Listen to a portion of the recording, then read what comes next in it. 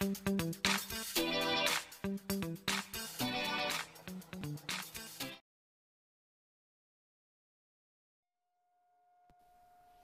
started out this build with plywood, 3 quarter inch Baltic birch. I've already cut the sides and the bottom for the box. These are going to be the two support pieces on the top of the box. I'm ripping these out of just some leftover birch that I had in the shop. Next I'll drill the uh, pocket holes for those support pieces to connect the box.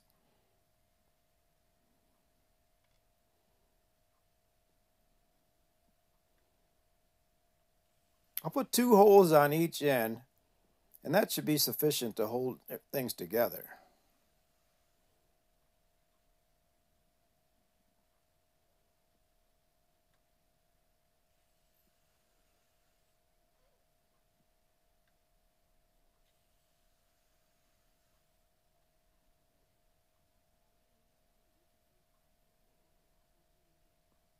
Just like that. Next, I'll glue and screw these support pieces to the uh, sides of the box. I'll use a clamp to hold the pieces in position while I screw them in.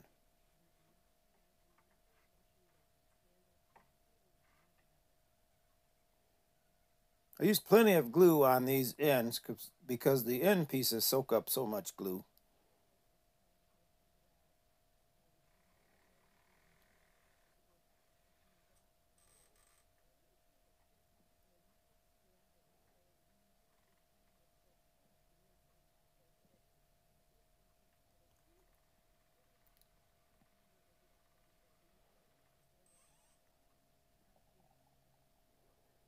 And here I have both the support pieces attached to the box.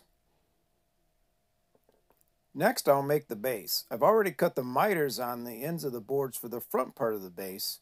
The back part of the base will just be box joints. I'll use glue and brad nails to secure the joint. I'll use these corner clamp jigs to hold it square while the glue dries. But like I said, I'm going to use 18 inch gauge brad nails to secure this joint.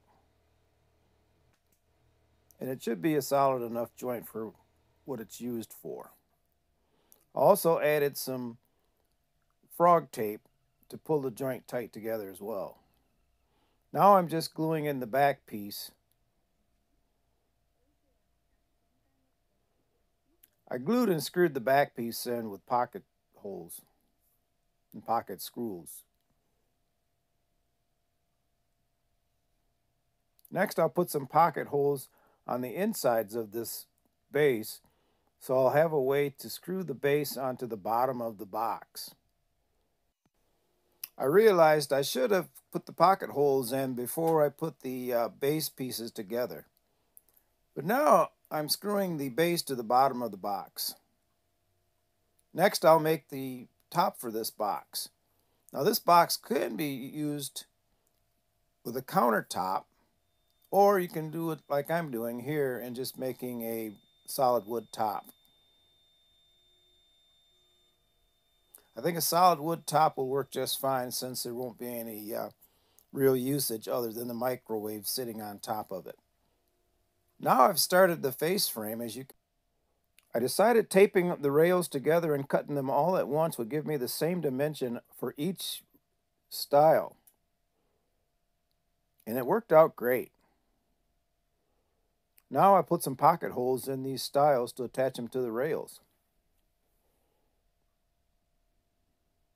I found that just gluing these and clamping them first, and then later, once the glue has dried, Add the pocket hole screws for extra strength is a much better way to go rather than trying to pocket hole screw these in and then have things move on me since I don't have a pocket hole clamp. Now I'm trimming up the top for the, the cabinet.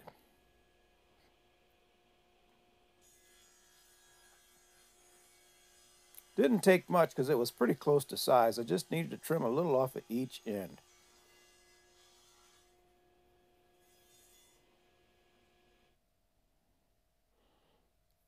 And now I'm removing the glue in the high spots with a small jack plane.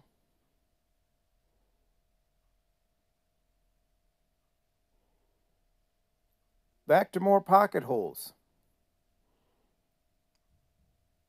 I could have drilled these pocket holes when I drilled the other pieces. These are the top support pieces for the box, for the cabinet. But luckily the pocket hole jig is uh, pretty mobile and multifunctional and this works out great.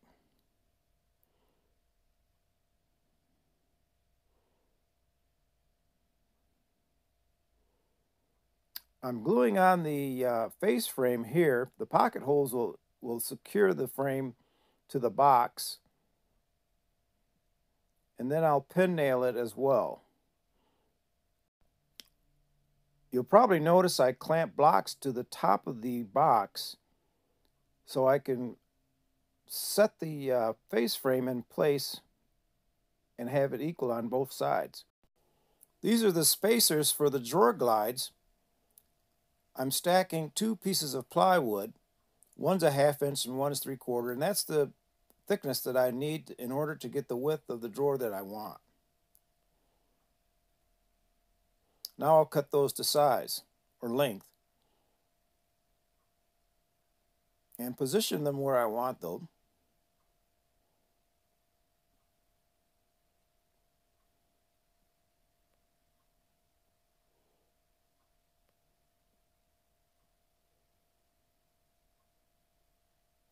Now I'm adding some pre-stain to the box and the face.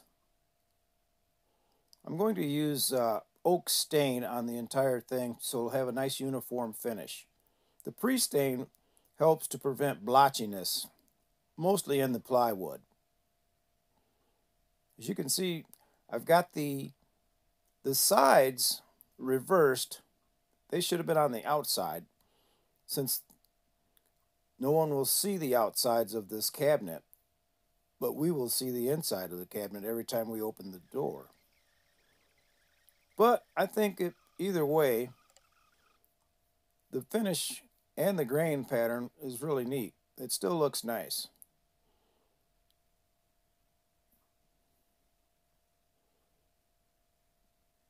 And that's the first coat of stain. After the pre pre-stain,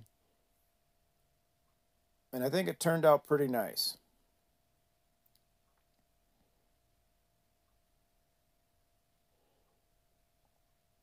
Here I'm installing the spacers for the drawer glides.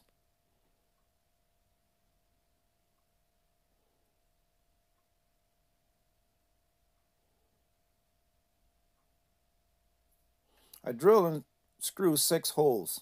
That should hold it in place fine.